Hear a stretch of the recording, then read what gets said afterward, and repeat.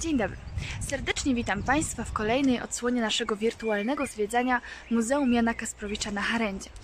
W dzisiejszym odcinku zaproszę Państwa do drugiej części domu, w której mieści się Galeria Malarska Władysława Jarockiego. Władysław Jarocki był zięciem Jana Kasprowicza. Urodził się w roku 1879 w Podhajczykach e, koło Lwowa. E, Dzieciństwo i młodość spędził w Lwowie i tam mm, obaj artyści się poznali. W 1920 roku Władysław Jarocki poślubił młodszą córkę poety, Annę, mm, y, a rok później wyprowadzili się z Lwowa na stałe do Krakowa.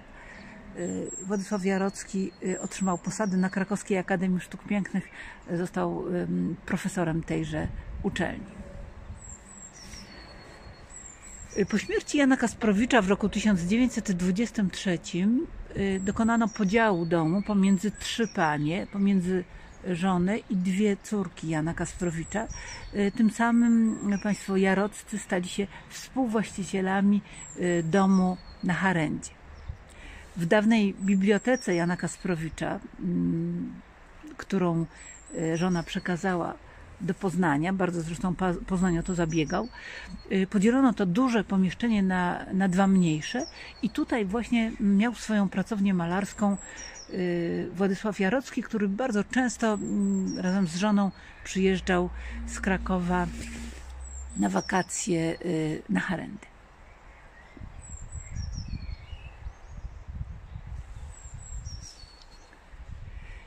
Kiedy mm, Władysław Jarocki zmarł w roku 1965, żona postanowiła urządzić w jego pracowni wys- wystawę jego obrazów, otwierając pod koniec lat 60.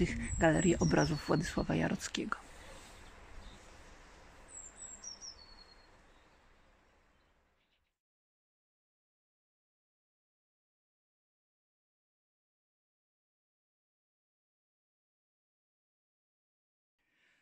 Tych obrazów początkowo było tutaj bardzo dużo. W tej chwili organizujemy wystawy czasowe, na, na, mm, często tematyczne. W tej chwili prezentujemy ponad 20 mm, prac profesora Jarockiego. Widzimy jego autoportret, widzimy też ym, y, litografie barwne o tematyce huculskiej, które zostały wydane w tak zwanej Tece Lamusa w roku 1912.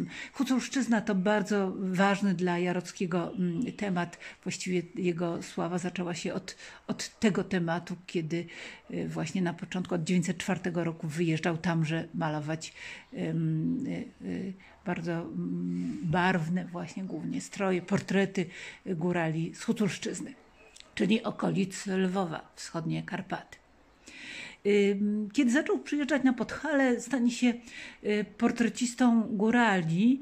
Y, Powstaje bardzo wiele mm, portretów mm, mieszkańców Harendy, mieszkańców Poronina, dokąd też wcześniej y, przyjeżdżał na wakacje.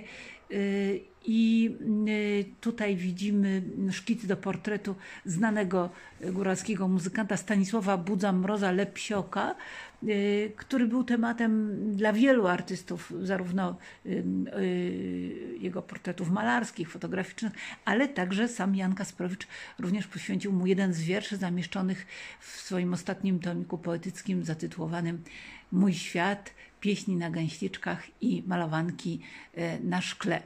Mm, Dodam, że mm, Stanisław Budzu-Mróz Lepsiok, y, zwany dudziarzem, gra tutaj na instrumencie, który my na Podhalu nazywamy kozą. Nie dudami, a kozą z racji właśnie mm, zakończenia tutaj tej piszczałki główką kozicy.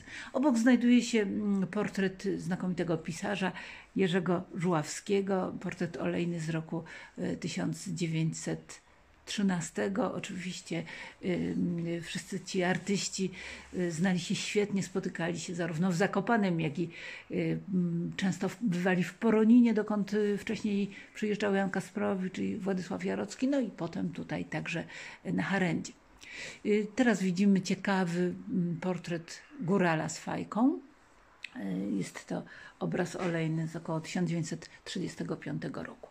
W drugiej części tejże galerii, tam było kolejne pomieszczenie, ta galeria została powiększona, chcieliśmy pokazać bardzo mm, piękne mm, prace, dwie prace o tematyce weneckiej. Władysław Jarocki sporo podróżował, te Włochy mm, niejednokrotnie odwiedzał, zaś w 1911 roku był stypendystą ministra edukacji i spędził właśnie kilka miesięcy w Wenecji, malując tam wiele, wiele y, prac. O, tutaj widzimy fotografię y, Władysława i Anny Jarockich przed Bazyliką Świętego Marka w Wenecji.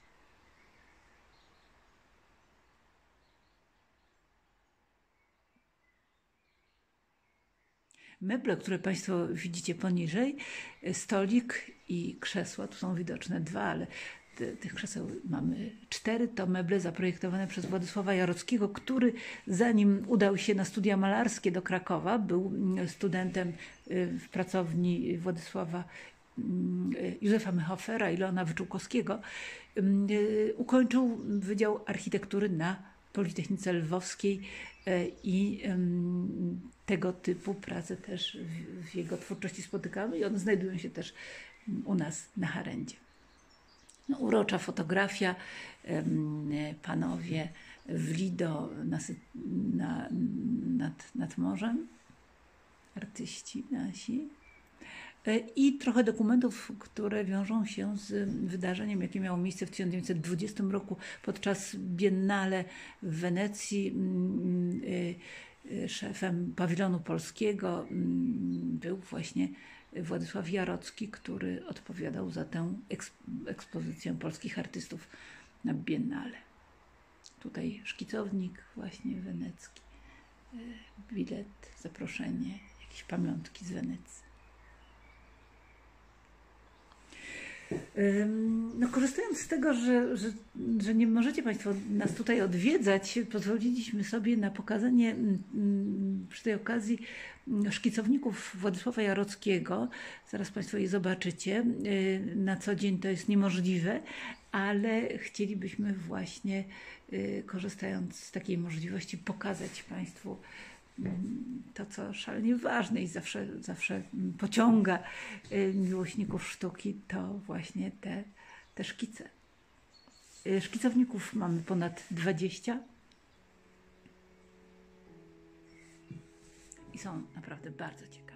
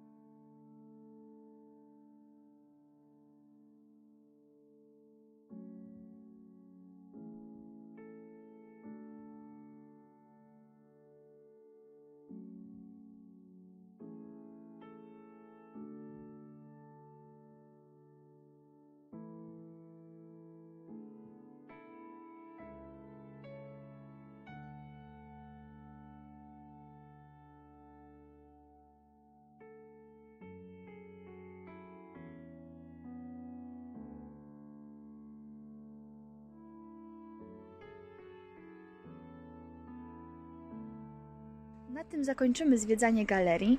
Jak Państwo widzą, u nas, mimo że jest połowa kwietnia, aura jest zimowa. Tak jak na obrazie Władysława Jarockiego przedstawiającym nasz XVIII-wieczny zabytkowy kościółek. Kościół jest bardzo mocno związany z postacią Władysława Jarockiego, stąd też mamy nadzieję, że dzięki uprzejmości parafii już w którejś z następnych odsłon uda nam się go Państwu pokazać od środka. Także zapraszamy do oglądania, bądźcie z nami.